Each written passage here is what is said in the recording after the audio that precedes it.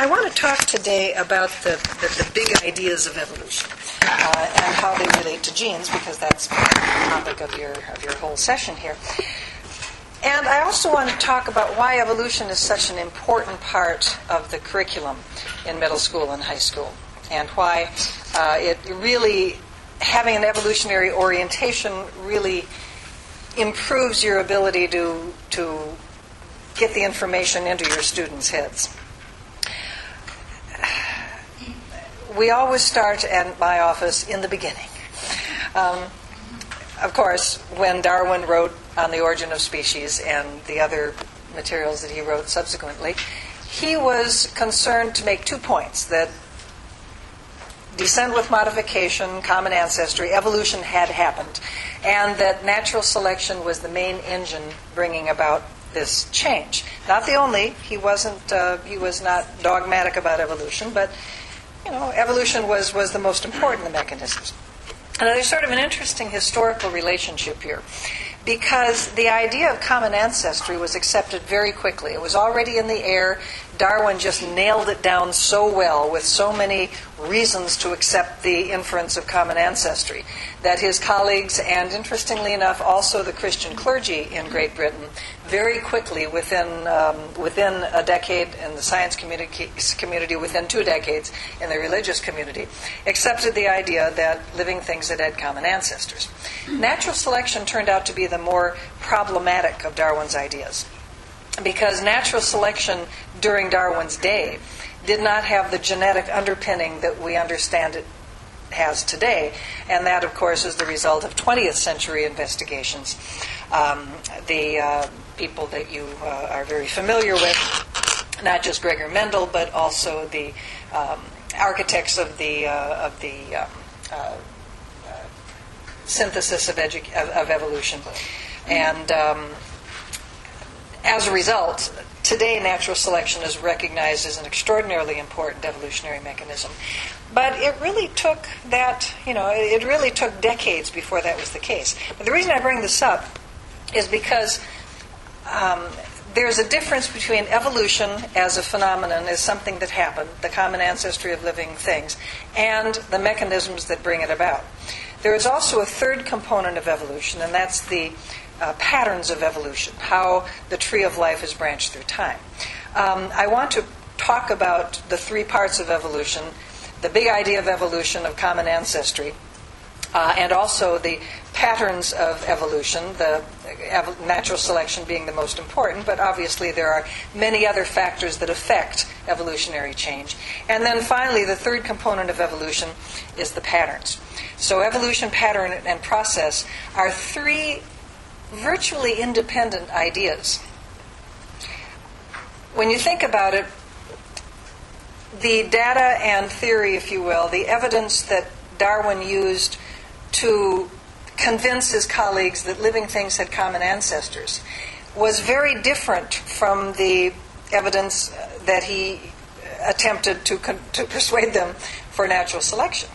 And of course, very little was known about the fossil record during Darwin's days, so that really didn't figure in a whole lot, although there's a most interesting chapter on, on the uh, fossils. But, you know, we know so much more about fossils uh, today than Darwin did at his time. But the, the kind of, of research that, um, uh, shall we say, process uh, evolutionary biologists, uh, th- those who are working on the mechanism, how does evolution work? Um, they are working generally with a very different kind of set of data. Um, they are working on different kinds of problems than you would use to demonstrate that human ancestry, that, that uh, common ancestry actually occurred.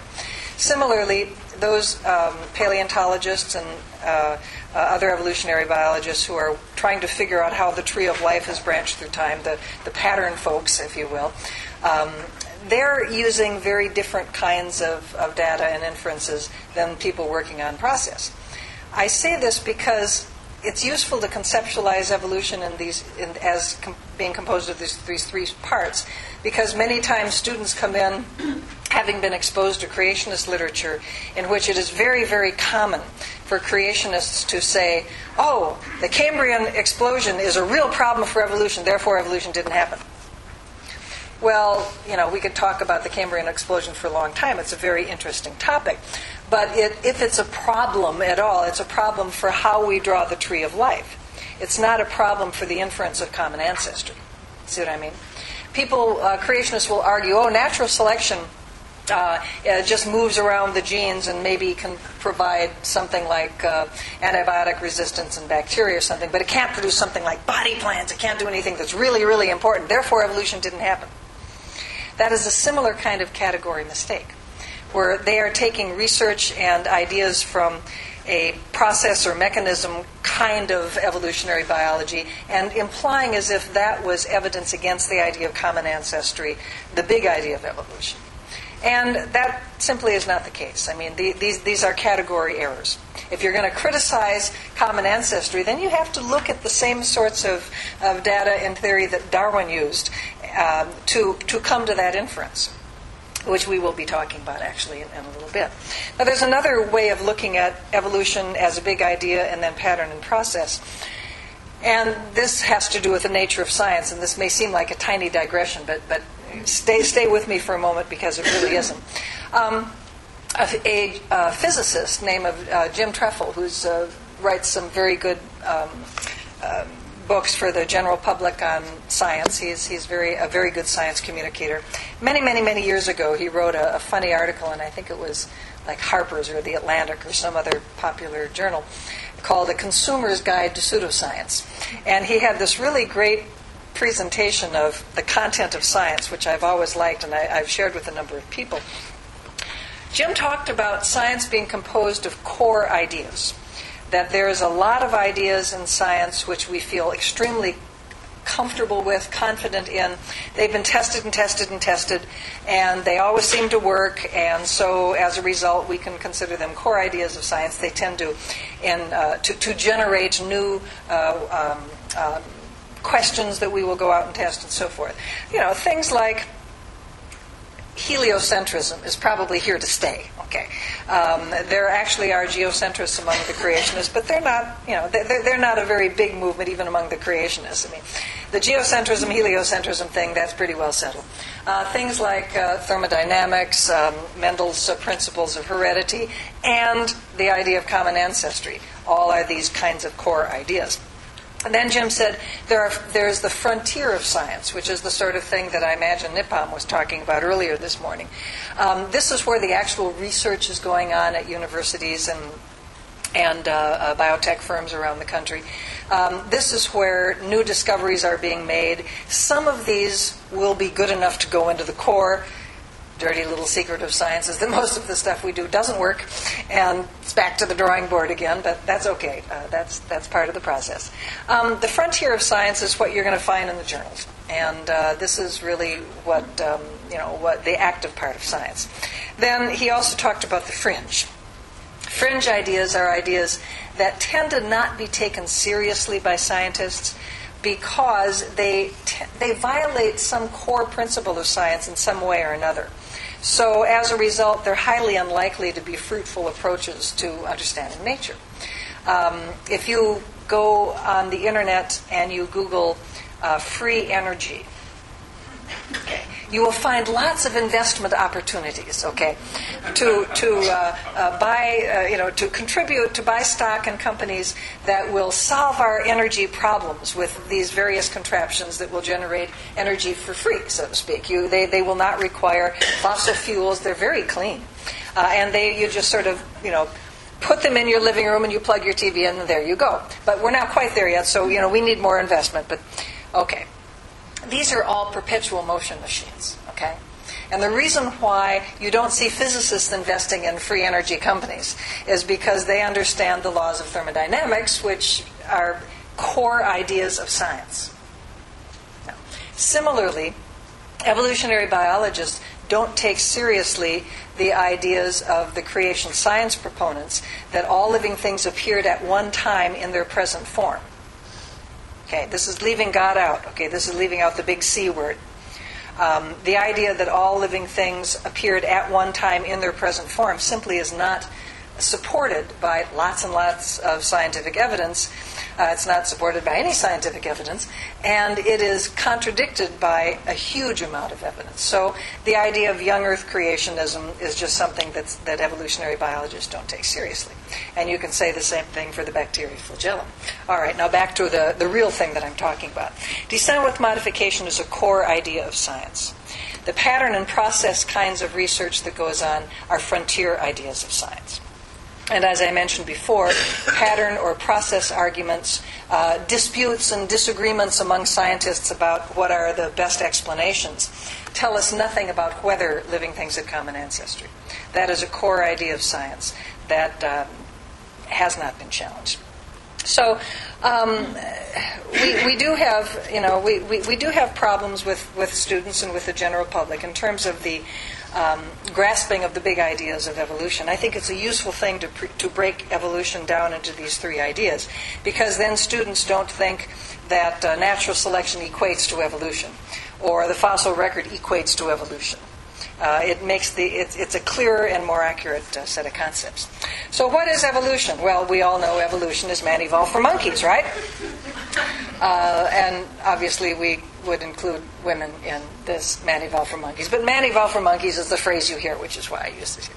Um, well, obviously, that's not the case. So we and um, modern chimps shared a common ancestor fairly recently, and we shared a common ancestor with monkeys uh, only much further ago in the past. And by we, I mean the group that includes both humans and apes branching and splitting of lineages is what evolution is all about. And this is this is the big disconnect that i find with the public. They really don't get it. I find that most of the public understands evolution more in terms of an old medieval idea called the great chain of being which was actually not even medieval, it was actually Aristotelian, where uh, you could rank all of nature from the ins- insensible up through the barely sentient uh, lower animals and higher animals and humans, and then, of course, angels were above humans, and then God was at the head of the great chain of being and, and heaven and so forth. And this ranking would take place in terms of, of complexity or could take place in terms of purity. Uh, it could take place in terms of closeness to God. There are all kinds of reasons for ranking um, everything from minerals to invertebrates to humans to angels on this great chain of being. but it was certainly a. Um, a, a, sequential kind of idea, a progressive sequence. And in, the, in medieval times, it got incorporated into uh, Christian theology, although it actually was a, uh, a an ancient Greek idea. Um, it's interesting when you think about it because our language reflects this great chain of being or ladder of life kind of, of, of um, view of, of reality. Um, have, you, have you ever thought about where the term um, missing link comes from? Chains have links. And if you find a link between one of the chains on the one of the you know uh, links on the great chain of being, then you have provided a missing link, and you are filling out the chain. That's where the you know the, we we have this kind of progressive sort of idea. It's hard to to help people understand what actually goes on because the great chain of being idea is very firmly um, uh, pushed into people's mind. Actually, we and uh, modern day African apes shared a common ancestor fairly recently. We shared a common mammal ancestor, we apes and humans shared a common mam- mammal ancestor a little further back in time. The um, mammal group, shall we say, shared a common amniote ancestor with the reptiles uh, further back in time. And we shared a common tetrapod. We amniotes shared a common tetrapod ancestor with the ancestors of modern uh, amphibians. Now remember, and this is again is something that our students misunderstand and the public misunderstands, no living creature is ancestral to any other living creature. This is the idea that monkeys are ancestral to us, apes are ancestral to us. No, we and apes shared a common ancestor. And I, I, I, use that terminology because, and sometimes my physical anthropology colleagues will say, oh, but the common ancestor would call an ape. Forget it. You know, we're talking not about what we're talking not about what you're saying and what your understanding is, but what are people hearing. And when people hear your students and when people in the public hear the word ape, they think chimpanzee or gorilla. If they're good, most of the time they think monkey because they don't know the difference between monkeys and apes. But that's something else that we have to worry about. So I never use the word ape to refer to the common ancestor of humans and modern day apes because what people hear is that apes are the things you see down in the, in the zoo.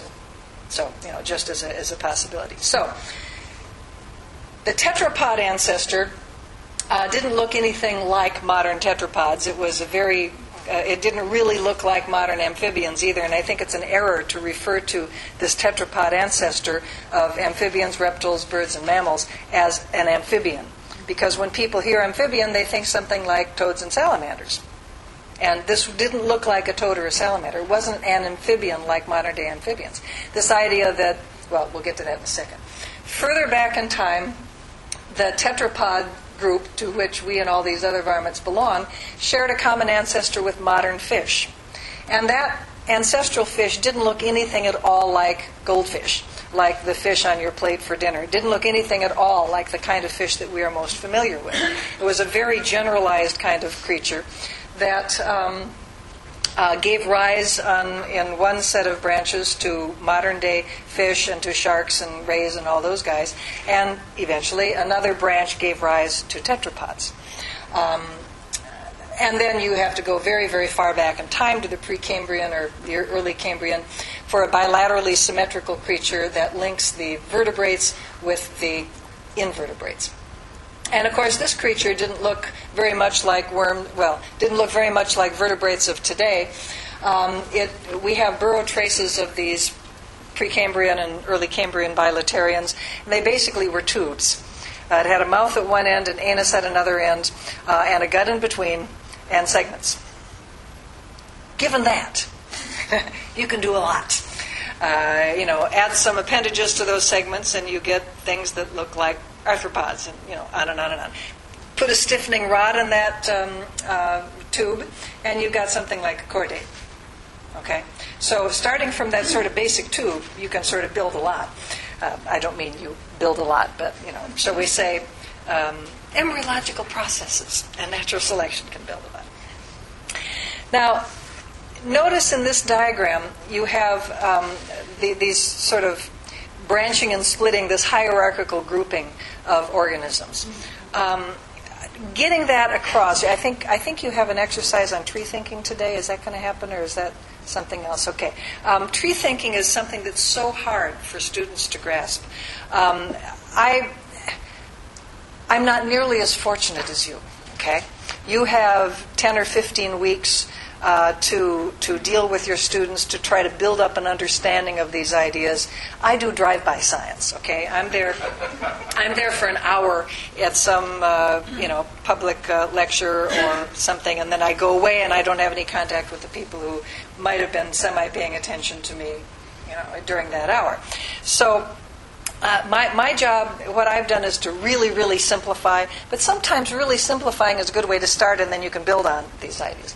And what I've found is to use something that's useful is to use an analogy that everybody's familiar with. You're trying to get across the idea of hierarchical groupings, you're trying to get across the idea that evolution is this branching and splitting kinds of phenomenon.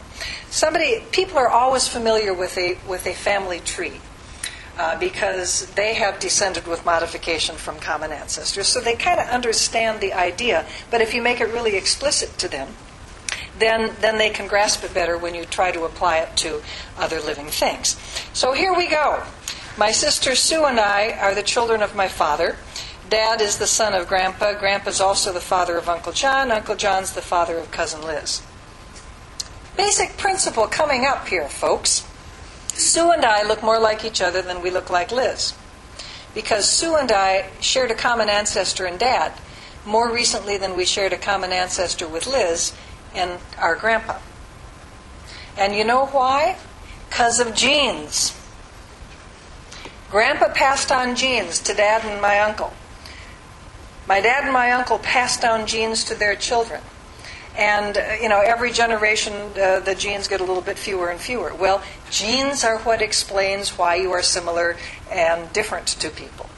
Um, I inherit, know, Sue and I inherited more similar genes from dad than we inherited similar genes with um, Liz from my grandpa, our grandpa. And genes are sort of the currency that makes this whole system work. Same thing works with other organisms, except now we have to shift from thinking about individuals of mom and dad and grandpa and so forth. Now we have to think in terms of populations, of groups of organizations. And that's another thing that sometimes people have trouble. So be sure you make that change explicit. So bears and dogs look more like each other than they look like lions. Because bears and dogs shared a common dog like ancestor with each other more recently than they shared a common carnivore ancestor with the lions. Similarly, Cebus and howler monkeys look more like each other than they look like apes because they shared a common monkey like ancestor with each other more recently than they shared a common primate ancestor with the apes. But bears and apes look more like each other than they look like salamanders because bears and apes shared a common mammal ancestor with one another than they did with a common vertebrate ancestor with salamanders. And genes are the the, the foundation for this whole relationship as well. There are mammal genes that are passed down to all mammals. All mammals have four chambered hearts. So everybody in that cascade further on down has got a four chambered heart. They all share those same genes. Um, primates have nails instead of claws. So that's one difference between primates and carnivores. The carnivores didn't get those genes that give you nails instead of claws. Good thing for lions. Uh, but all primates have nails instead of claws. Um, hominoids, the group to which apes and humans belong, have genes that say don't build a tail. Okay? So there's those genes are different among the apes and humans than they are among monkeys. It's all about genes. Genes are the currency of evolution. Just like genes are the currency of the personal relationships that you have in your family tree. The more recently you shared a common ancestor, the more similar you are. But remember, a lot, your, your textbooks get the taxonomy section wrong. The textbooks tell you that you group, group, you group organisms together because they're more similar. Wrong. They are more similar because they shared a common ancestor more recently than with somebody else. It's a very different way of looking at taxonomy, but it's a much more accurate way of looking at taxonomy. And if you can keep, you know, if you keep coming back to genes, this all makes more sense to your students, I think. Okay, let's take a look at the processes of evolution. And I'm not going to um, uh, spend a whole lot of time on this because, you know, there's only so much time uh, in my drive-by uh, uh science today. But, um, of course, Darwin didn't know what we know today about the genetic underpinning of natural selection. So I'm not going to tell you what Darwin thought, which is basically similar, but you know we can expand Darwin a little bit. Again, remember we're talking about populations, right? We're not talking about individuals. There's this wonderful old state legislator in Iowa years ago um, who every year would introduce a creationism bill to the Iowa legislature. And he would get up there and he would say, I have been a farmer all my life, and I've never seen a chicken turn into a cow. Yep, you're right. Chickens are hatched, they're born, and they die. Cows are born, they live, and they die.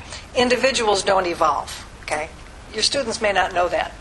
A population may evolve, can also go extinct, could also kind of stay pretty much the same way. But populations are what we're talking about. Population thinking, Ernst Mayr was right, it's difficult for people. Let's take a population at one time. Let's take a group of bunnies. So we're looking at some rabbits out in a, in a field. Or actually, one of you was telling me you had a, um, some baby foxes in her yard. How fabulous. Let's make up foxes. Okay. Um, if you look at all those foxes, uh, they're not identical because they've inherited different genes, right? Recombination and so forth. And so there's variation that exists in that group of, of uh, foxes out there. Not everyone is the same. Some have slightly longer tails, slightly bushier tails. Some have a little different in, co- different in color, maybe more or less red. Uh, they will also have biochemical differences. They'll have um, slight differences in uh, the various kinds of enzymes and so forth that, that make them work.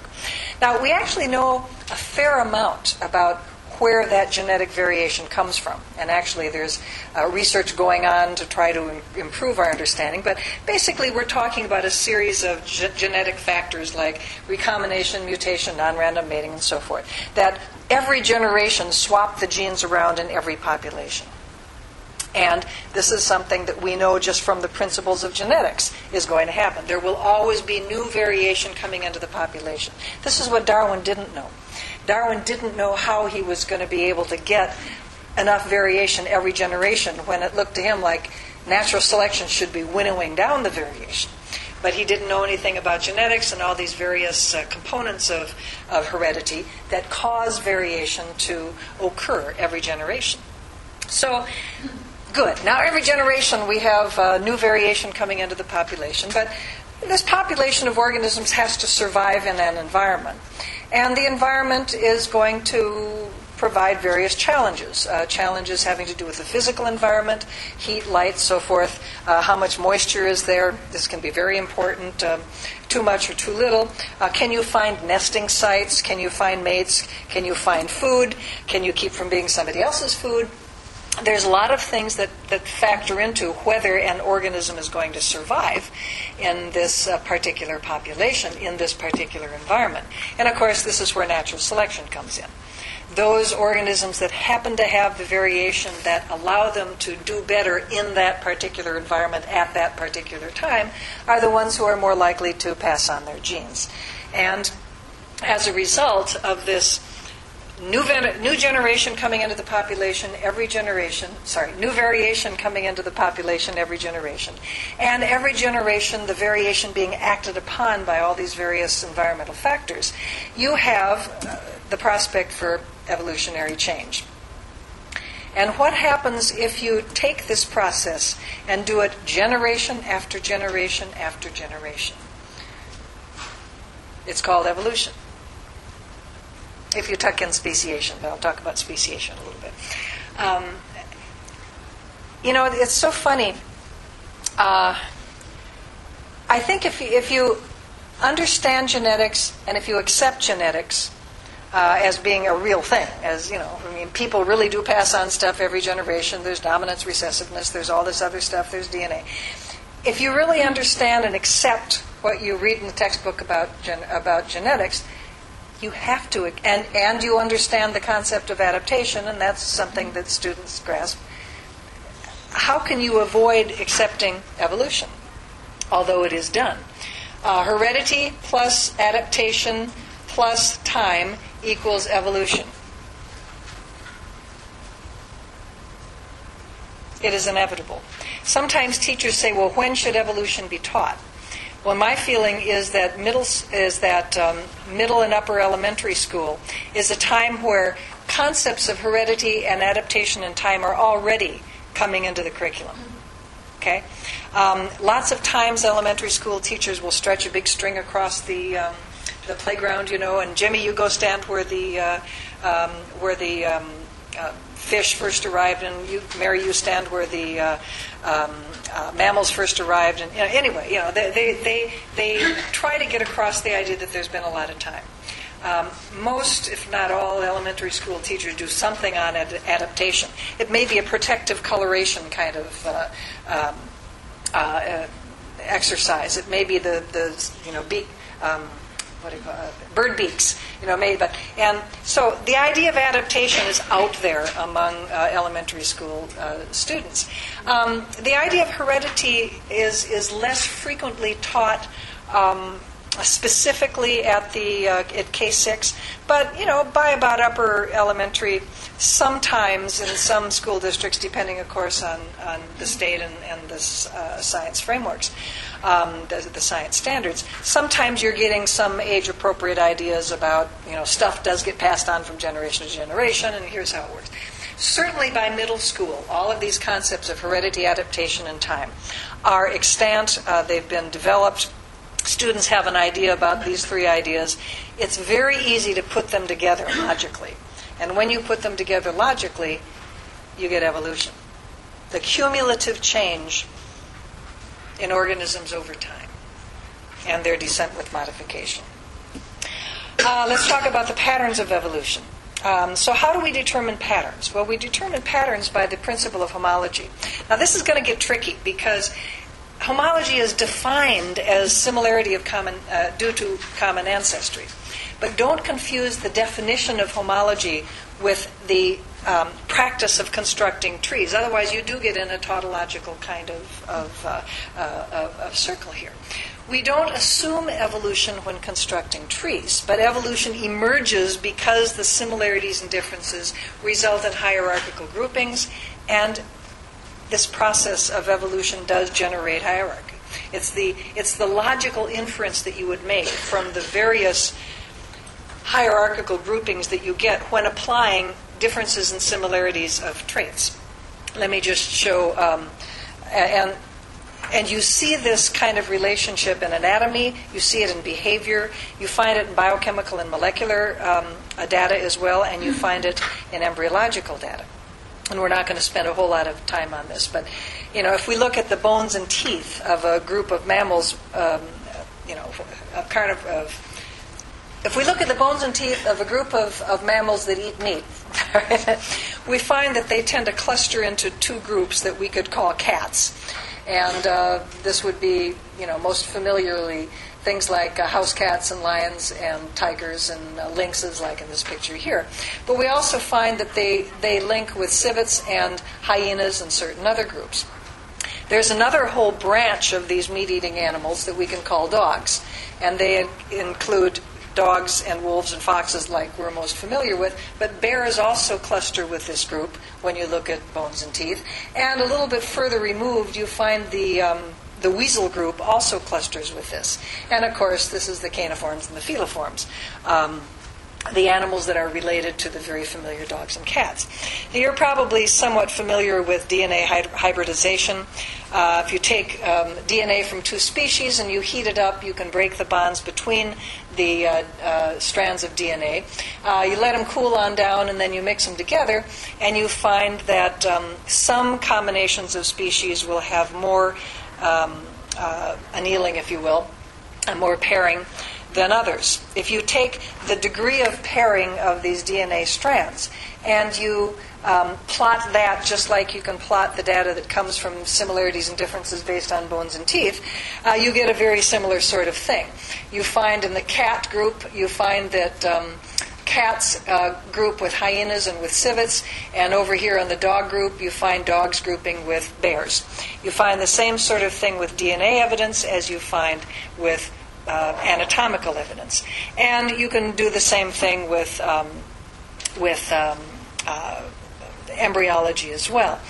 Um, embryological relationships have interested evolutionary biologists for a very long time. Ernst Haeckel in the 19th century was, was an early enthusiast of the idea that you could uh, study in, uh, embryos of different groups and again compare their similarities and differences. The more recently, the more similar the groups, he inferred that they had a more recent common ancestor and so forth. Now, creationists make a great deal of the claim, and I say it's a claim because it would take us a long time to dissect it, but the claim that Haeckel's embryos are fraudulent, that he uh, just merely drew them all to look alike, and that all of his research was bogus. Um, unfortunately, like anything else coming from the creationists, don't trust and verify. Um, there's um, uh, two books where you're likely to find these kinds of, of, claims Icons of Evolution by Jonathan Wells, and Explore Evolution, a more recent publication from the um, Discovery Institute.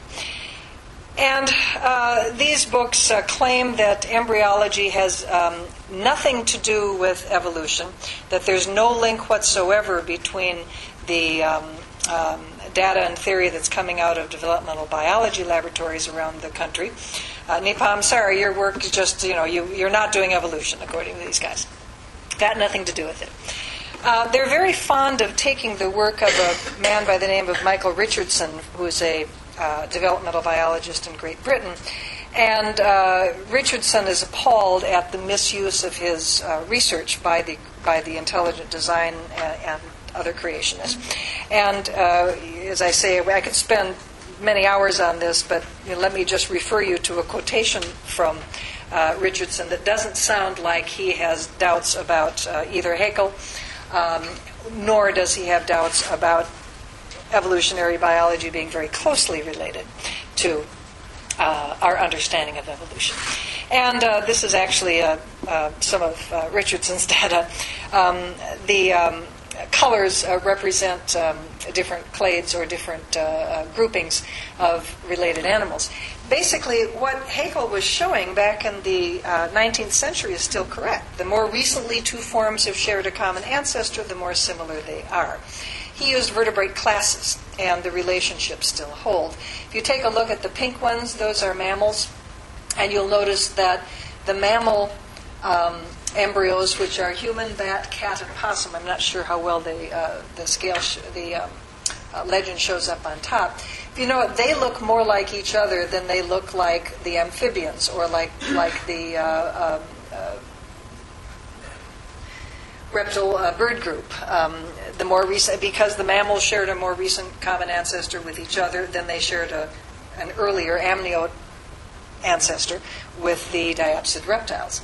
Um, the other point that uh, Haeckel noted, which is still uh, correct based on modern data, is that within a group, um, there is more similarity. Uh, I'm sorry, there is more sorry, there's more similarity earlier in embryological uh, development than later. And you know, if you just take a look at the pink mammal guys there, um, the the earlier embryos look rather more similar to one another than they do look like the finished product, so to speak. You know, bats and humans are pretty distinguishable, uh, as you know, just being ready to be born, whereas uh, at very, very early stages of embryological development, that is not the case. Now, of course, Haeckel was a little confused about why this was the case, and his biogenetic law had to do with the uh, um, supposed uh, reproduction of all evolutionary stages in the embryo, and you know that, that part doesn't work.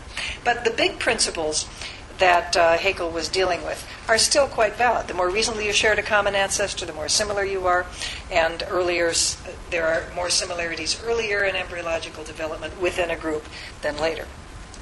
Um, what is this? I don't know. Oh, that's never mind. that was supposed to be a blank slide. Forget it. Uh, but perhaps the most significant contribution of developmental biology to evolutionary studies is the development of a subfield called evolution and development abbreviated as Evo Devo. Uh, there are some, I think there's even a journal called Evo Devo, isn't there? and there's, I think, also one called Evolution and Development. So if you can spell it all out, or you can just abbreviate it. The last 20 or 30 years or so, molecular genetics techniques have made substantial contributions to developmental biology. There's been this wonderful cross fertilization. And interestingly enough, it's really re stimulated the interest of developmental biologists in in evolutionary biology. So, whereas Haeckel was trying to put them, put them together back in the um, uh, 1800s, they sort of drifted apart in the uh, uh, early to mid 20th century. Now they're coming back together again. And one of the things that's um, being shown that I suspect, uh, since it is coming into your textbooks now in, in uh, uh, more detail, is this idea of early acting genes, which uh, appear to be conserved across very, very different groups of organisms. Uh, here's a mouse and a fruit fly, and you can see that some of these early acting genes, this is, happens to be Hox clusters, um, uh, are, are, homologous. They are, um, they are the same and, and they, are, they occur in the same order, and they tend to do the same sort of thing. Uh, they, they tend to be genes that lay out your basic body plan. Here, here's the front, here's the back, here's the top, here's the bottom, here's the left, here's the right. Build a segment here, stop building tails there. I mean, these are genes that that are extremely important for these early body plan kinds of, of uh, developments, which of course is directly related to evolutionary biology and our understanding of how um, how organisms have diversified through through life. So uh, embryology and the homologies that come from embryology are very important in constructing trees. Now, um, whoops, wasn't there?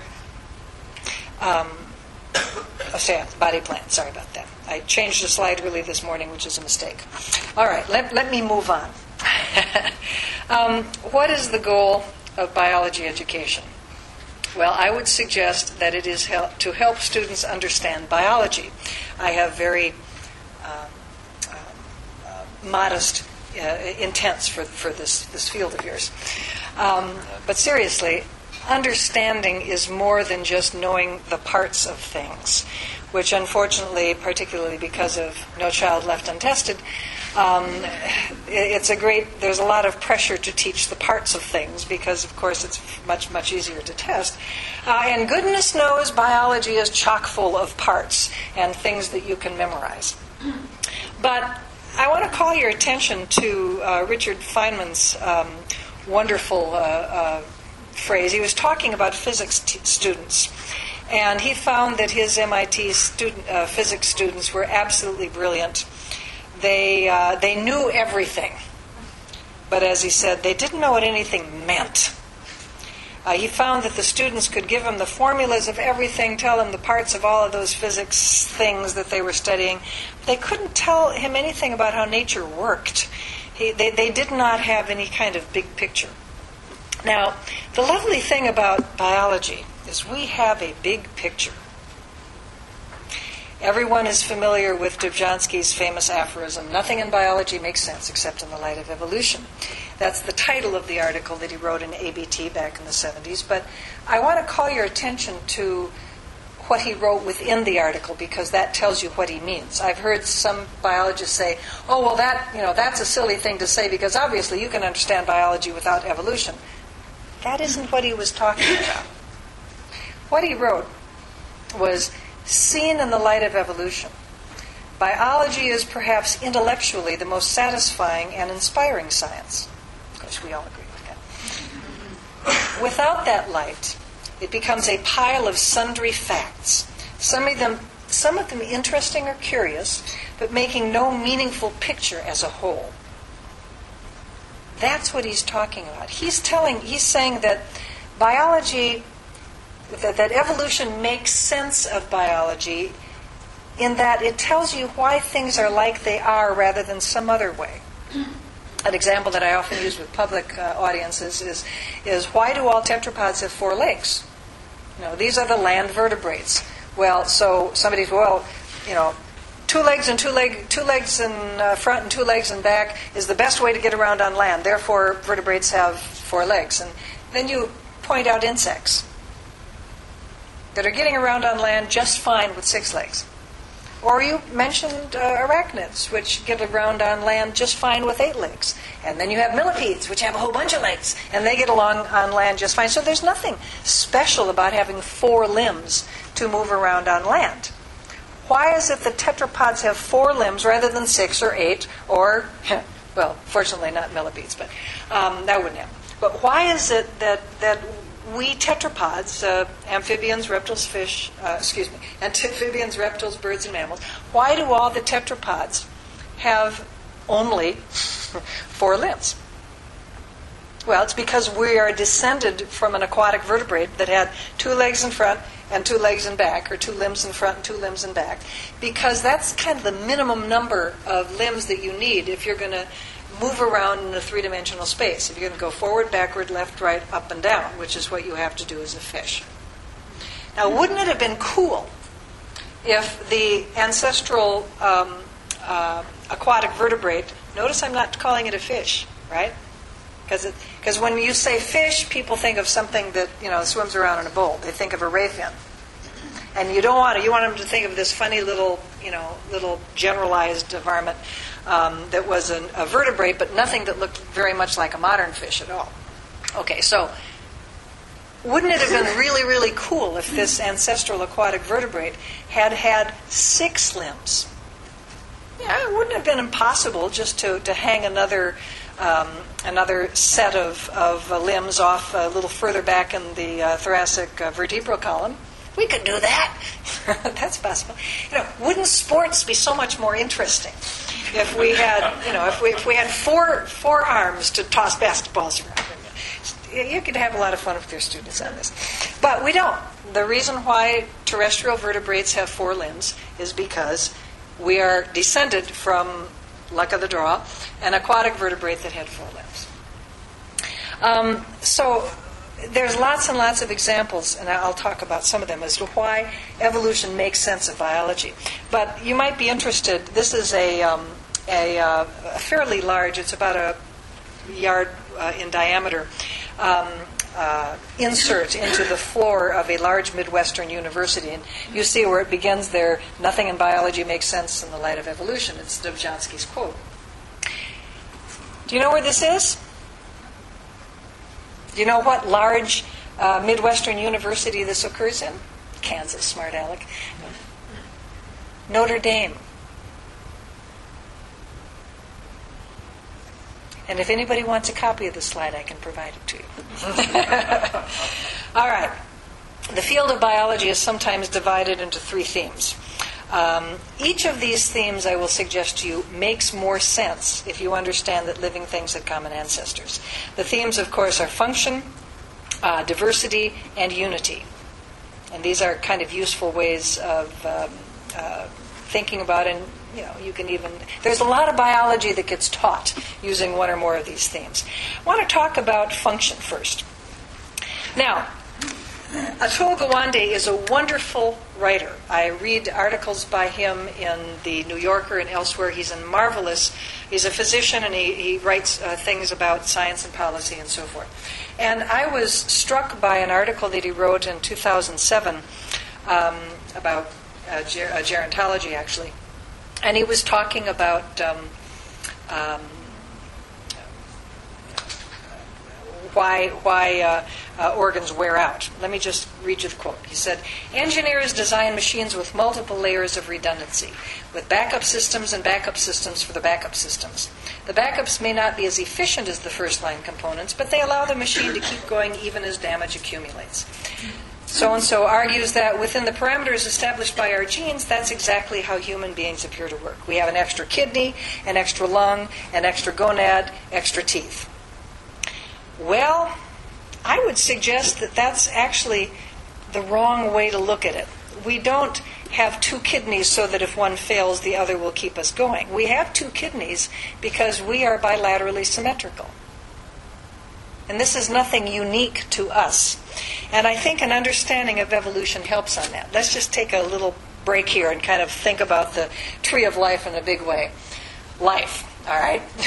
Most of it is single celled, but you have these things called eukaryotes, the, like us, with nucleated cells. So we're going to talk about these from here on in. Um, most eukaryotes, of course, uh, just like everything else on Earth, is single celled, but there are metazoa. There are the eukaryotes that have uh, live in more than live with more than one cell together, like us. And this include plants and animals. Uh, this diagram is hard enough to understand uh, with just animals, so I'm going to make the plants disappear, for which I apologize for all of you botanists, but otherwise it's even crazier to try to look at this. Um, among the animals, then, we'll just talk about um, uh, the ones that are bilaterally symmetrical, the bilateria. Okay, and these are all clades. You know, the, these are all you know these are all creatures that share combinations. The further down this cascade that you go, so basically, bilateral symmetry results in paired organs. Mammals and human beings are way down here. It's not that we have an extra kidney in order to keep us going if the first one fails.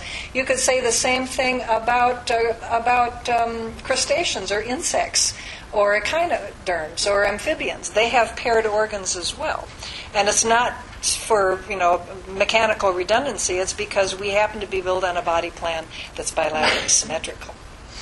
Um, there's a lot of good examples of function where you can bring in evolution, and it's really a lot of fun for your students too. My, one of my favorites is the recurrent laryngeal nerves.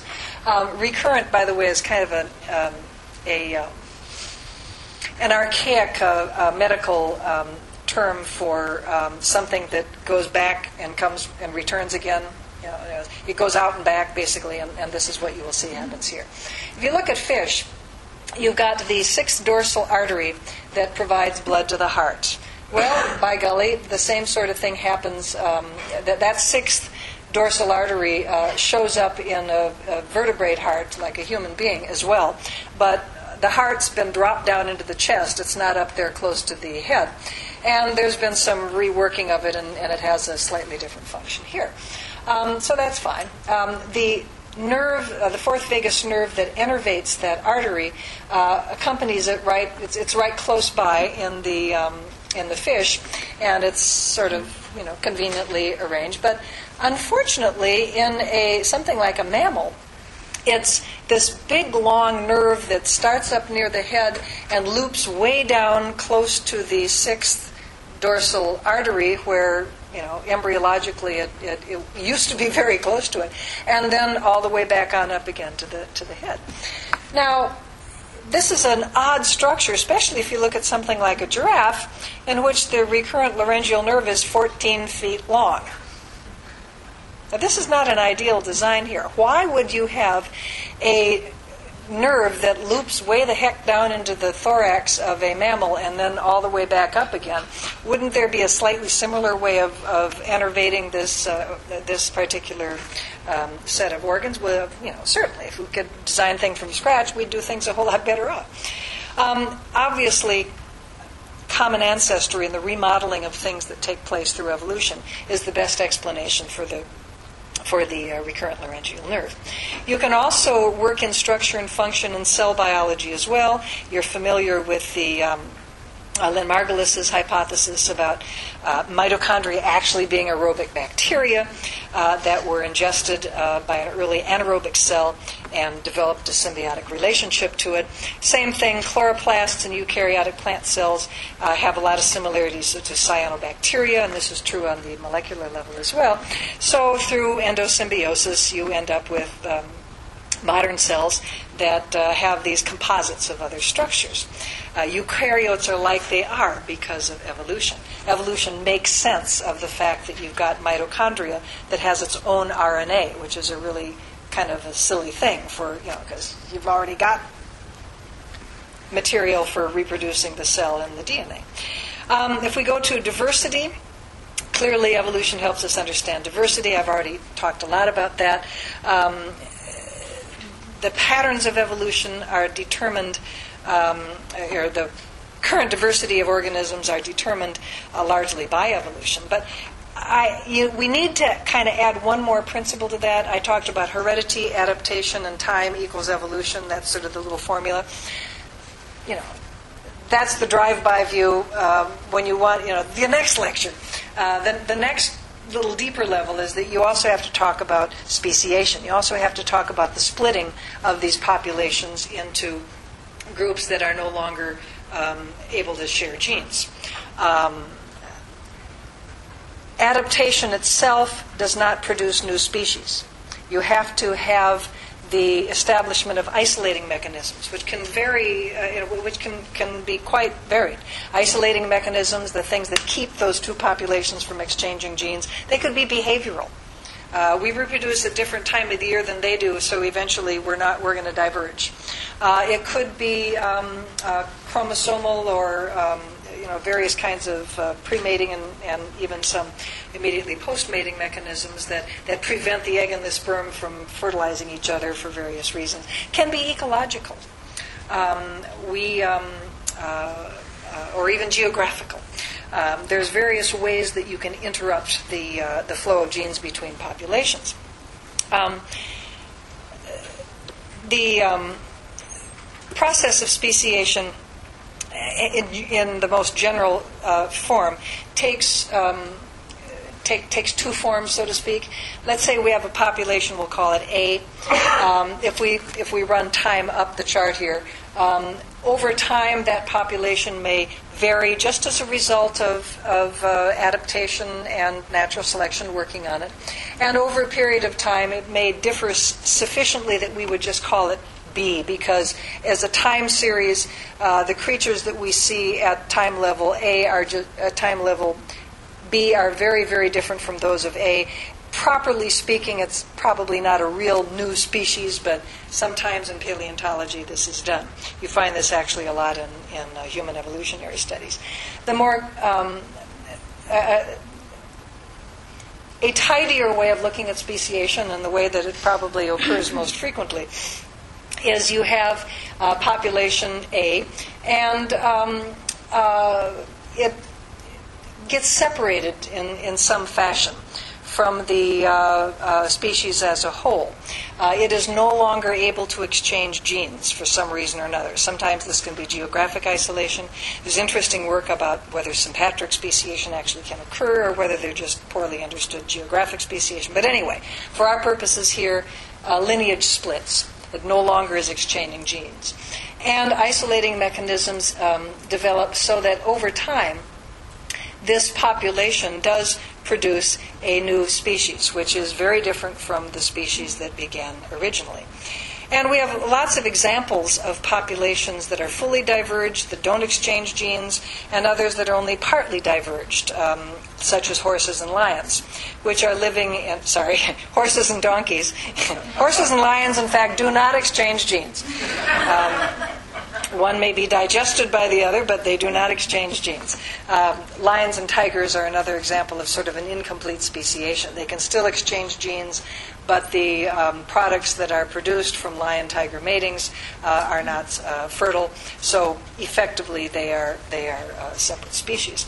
Um, some populations appear to be in the act of speciating, such as ring species, and this is a completely um, uh, more complicated diagram than, it, than I should be showing on a um, screen, but since this is a small room, I, I took a chance to do it. Um, this is a, a, a cute little, um, um I think it's a warbler um, over here, that uh, is uh, extant across most of Central Asia.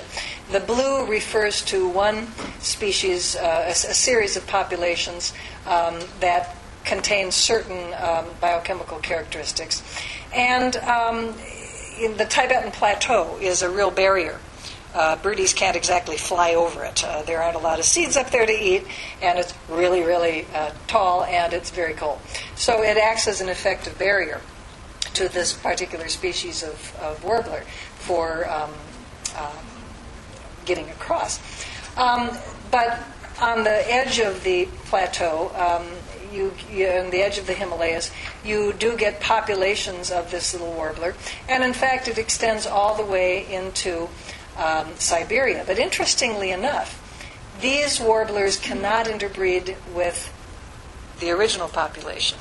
It's almost as if, um, you know, if you're seeing what's taking place in geographic space, what is very likely to have taken place through time uh, a population that starts with one set of variation and then at a longer period of time ends up with another, and indeed would not have been able to exchange genes. But here we see the same sort of general principle taking place across geographic areas. We have examples of that right here in California with, uh, with the uh, uh, species of salamander. There's also a bee, Hoplitis. The classic example is seagulls of Larus argentatus. Lots of ring species are around, and they're very a very good way of demonstrating how genes are the currency of evolution. Genes are the currency of adaptation as well. Let's uh, speak. Very, oops, I guess I was going to talk about that, but then changed my mind. So let's move along. Let's talk about unity, because um, I'm getting close to where we should be going here. We see unity of living things, this, this great theme of biology that's often used as, uh, as a way of bringing it together, reflecting evolution in the sense that there is a continuity within biology that's reflected in uh, genes and biochemistry, it's reflected in descent, reflected in form that we've talked about a little bit. It's also affected, it's also repeated uh, in ecosystems and adaptation. Again, genes are, are really the heart of this. Genes are passed down from population to population. Therefore, evolution tells us the more recently two forms shared a common ancestor, the more similar they are, and that all the descendants of a clade are going to have similar characteristics. And interestingly enough, the earlier you look in the clade, the more similar the characteristics that will be um, seen to, to cascade down and unite that clade. Um, uh, let me just sort of skip up to uh, this one. Um, this is kind of a macro tree of life here. We start with an ancestral animal. that is a single celled organism. Uh, sponges, of course, are asymmetrical. But um, I'm going to move on here until, uh, well, and uh, jellyfish are radial, radially symmetrical, but let me move on to bilateral symmetry here. Um, all of these creatures, sort of above the flatworm levels, so to, so to speak, on the left hand uh, um, uh, index of this illustration, have bilateral symmetry. Bilateral symmetry was um, uh, came about very, very early in animal and metazoan evolution, and all of the creatures, all the way up, have this particular case. Um, segmentation is something that occurred uh, only um, among some of us metazoa. You notice that most of the uh, metazoa really, you know, aren't segmented. Um, you look at the deuterostomes and the protostomes, and all deuterostomes have the same uh, basic embryological characteristic of where the blastopore forms. It forms at the anus end. Protostomes, all of them have the same characteristic, the blastopore forming at the mouth end. Uh, those very early acting characteristic will characterize all of the organisms within that clade. That is a type of unity. Uh, you know, sort of you stand back, you see the whole tree, that's diversity. You get in close and you look at, at the descendants of a clade, and that gives you the unity. Um, moving to an um, ecological orientation, the unity exists there as well evolution allows for adaptation into ecological niches. These adaptations keeps occurring as long as there are environments or niches to occupy. Um, at one point, a niche of browsing on um, vegetable food that uh, occurs very high up was occupied by reptiles. Today, it's occupied by a mammal form. Similarly, there was a niche that was occupied back in the Permian by an amphibian, which involves living in a, a, a lacustrine or freshwater environment and um, capturing prey, prey by the use of stealth and very, very rapid uh, seizure and um, uh, um, you know, crushing uh, killing. We call those people crocodiles today. That same niche exists. It's, it's, there's a unity of niche. It is occupied by different forms at different times. There's an aquatic, uh, a marine niche of a large bodied predator of fish. Um, we call them dolphins today. Um, there is that, uh, you, coral reefs. Um, uh, the, the, reef kind of environment is occupied by corals today, was occupied by uh, brachiopods in the past. Uh, the, the the environments remain, they, there's a unity of environment that is filled by different organisms over time. Um, I think Dobzhansky was right. Uh, evolution tells you why things are the way they are in biology rather than some other way. And I think thinking about how common ancestry explains whatever the topic you are teaching is going to help to make biology make more sense for your students. We have too much of this already. Um, Feynman is right. Uh, they know all the details, they know all the formulas, but they don't know what anything means. And what it, what so much of biology means is that there's been a fabulous history of cumulative change through time in biological organisms. And it's nice to give them the big picture. Uh, for more big picture, at ncse.com, which is our website, um, if you go to uh, this news alerts button here, you can sign up for a free Friday electronic newsletter. Uh, Glenn Branch puts it out. It's excellent. It's short, it's just bulleted points with links if you want to follow up and learn more about whatever events are going on. If you go to the news button up here on top, um, you can sort for California or whatever state you are interested in. You can sort by year. You can pull up the news articles that we've been accumulating for a long time. Uh, we're a membership organization, so it would be lovely if you would join. Um, we are uh, the National Center for Science Education, and my colleagues are the uh, Deputy Director Glenn Branch, Louise Mead, you will meet a little bit later on. We're going to get her a new picture shoot because she doesn't like that one. but I think she's lovely anyway, no matter what. Uh, Robert Luhn is our communications um, uh, officer. Peter Hess is Faith Community Outreach. And then the Flare Ups Wranglers, who are uh,